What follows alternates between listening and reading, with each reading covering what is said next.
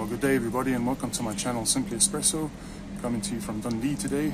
I'm on a work-related trip, as if you watch my previous video, um, I said I'd be visiting a coffee uh, shop this morning, and this is the shop, J.A. Braithwaite Limited. As you can see, here's all their paraphernalia.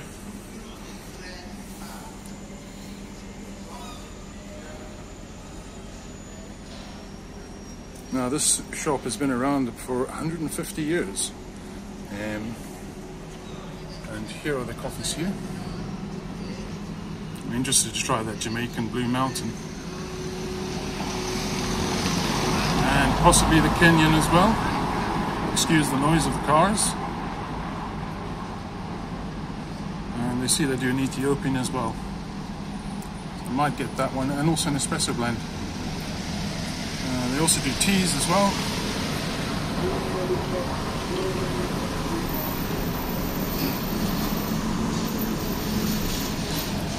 And of course, the owner has kindly, well, the person there has kindly given me permission to take these shots, so kudos to them. I'm just going to go inside. I don't know if I'll be able to film inside though. Well, guys, as you can see, here's the inside of the shop. Very, very traditional a lovely chat with a lady behind the counter who's giving me a bit of history about the place. As you can see, just a beautiful shop. Very quaint and small. They do all their roasting here um, at the shop. And as I said, the business has been around for over 150 years, 154 years, I was told, and um, still going strong. And it's a family business as well.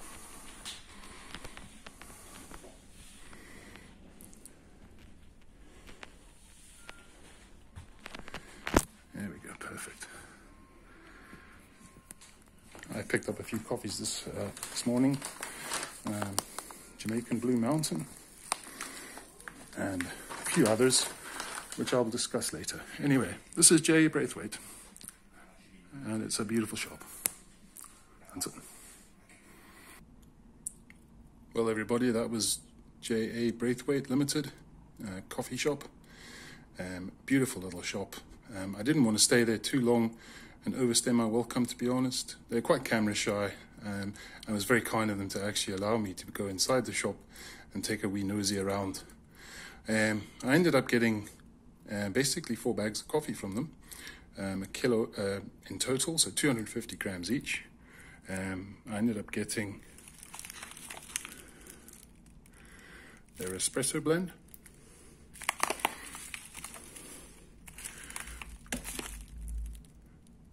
uh, the Kenyan. This is their guest blend that they call, but it's Indian Monsoon Malabar. And last but not least, I had to get 250 grams of their Jamaican Blue Mountain. Lovely stuff. Can't wait to try these. Obviously, I'll let these rest for a wee bit and probably have them when I get back from my business trip. Um, so price-wise, this came to forty pounds. Now, if you take away the Jamaican Blue Mountain, which was twenty-eight pounds for two hundred fifty grams, that was literally twelve pounds for seven hundred and fifty grams of whole beans. Now, in my opinion, that is a real bargain. Um, a lot of these artisan um, independent companies, you're looking at 8, 9, 10, 11 pound per 250 grams. I mean, these were like three, four pound for 250 grams. And the Jamaican Blue Mountain was obviously expensive, but I mean, you're going to be paying, uh, you're going to be paying a bit for that, and it's obviously a, a quite uh, rare or rarer than the others. Um, but it just goes to show that uh, you know I had a lovely chat with a lady behind the counter as well. She said they're not in it to make a profit at all. They're a family-run business. They've been running it for over 150 years. They just want the customers to have good value coffee. And I honestly can't wait to try these. Uh, going to be very interesting to see how these fare up against the other coffees that I've tried. Um, so, yeah, I really look forward to trying these. So, um, probably start maybe review one of them at least um, in, in the next week or so. Anyway, I hope you enjoyed the little wee tour inside. I know it was short. As I say, I didn't want to overstay my welcome.